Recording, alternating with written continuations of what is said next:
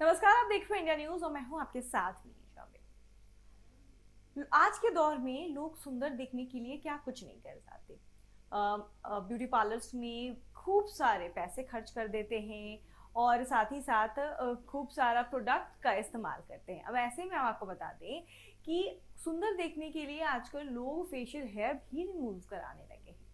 Facial hair face के बालों को कहते हैं, चेहरे पे जो बाल होते हैं अनवांटेड हेयर होते हैं, उसको लोग हटाते हैं क्योंकि ऐसा लोगों का मानना होता है कि फेशियल हेयर से लोगों की जो खूबसूरती होती है, रंगत होती है, वो थोड़ी कम हो जाती है।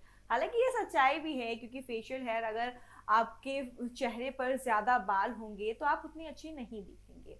हमारे शरीर में आधे से ज़्यादा ऐसे हिस्से हैं जो कि हमारे बालों से ढके हुए हैं। उसमें हमारा चेहरा भी आता है।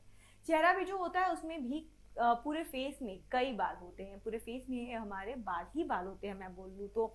आईब्रोज अपर लिप्स और ये कुछ एरियाज़ हैं हमारे फेस में जहाँ पर जो हेयर होते हैं उसको रिमूव करवाना काफ़ी ज़्यादा ज़रूरी हो जाता है। समय समय पर लोग पार्लर में जाके अपने पैसे खर्चते हैं इन इन सारे हेयर्स को रिमूव करवाने के लिए। और आजकल तो एडवांस टेक्नोलॉजी भी आ गई है। लोग लेज़र ट्रीटमेंट करवाने लगे हैं। लेज़र ट्रीटमेंट के माध्यम से लोग अपने फेस के हेयर्स और पूरे बॉडी के हेयर्स रिमूव करवाने लगे हैं। कोई आ, कुछ लोग वैक्स भी करवाते हैं। हालाँकि जो लेज़र ट्रीटमेंट होता है, वो काफ़ी एक्सपेंसिव आता है। और अगर आप फुल बॉडी वैक्स करवाते हैं तो लेज़र ट्रीटमेंट से वो कम पड़ता है, लेकिन वो भी एक्सपेंसिव ही होता है।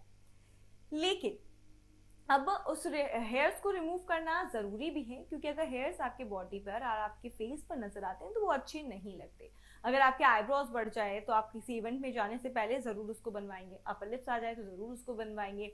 ना ही सिर्फ़ लड़कियाँ, बल्कि बल्कि लड़के भी अपने बियर्ड्स को शेप में ज़रूर देते हैं। तो चलिए हम आपको हमारे इस वीडियो में बताने जा रहे हैं कि बिना किसी ज़्यादा खर्च के आप किस तरीके से अपने फेशियल हेयर को रिमूव कर सकते हैं घरेलू नुस्खों से। आप कैसे अपने फेशियल हेयर को रिमूव कर सकते हैं? जो चीज़ें आपके घर में मौजूद है, बिल्कुल उन्हीं सब चीज़ों से आप अपने फेशियल हेयर को रिमूव कर सकते हैं। मतलब कि जो हर 20 से 15 दिन में आप पार्लर में जाती हैं अपने अपर लिप्स और आईब्रोज को और अनवांटेड हेयर्स को रिमूव करने के लिए, आप हमारे इस नुस्खे से उन हेयर्स को बिना किसी खर्चे के रिमूव कर सकते हैं।